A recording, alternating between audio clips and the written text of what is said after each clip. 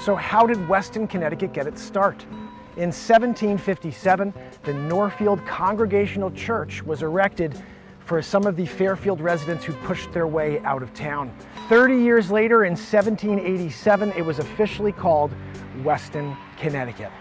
Now, we saw downtown, you saw the Congregational Church.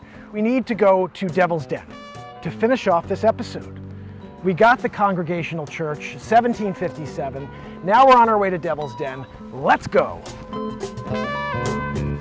So today, Weston, Connecticut, I want to thank Glenn Raymond for the recommendation on Devil's Den. Now, it may sound sinister, but it's not. It's a 20 mile nature preserve and trail, hiking trail, here in Weston, Connecticut.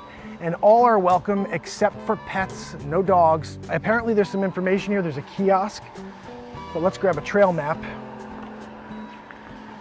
Right here.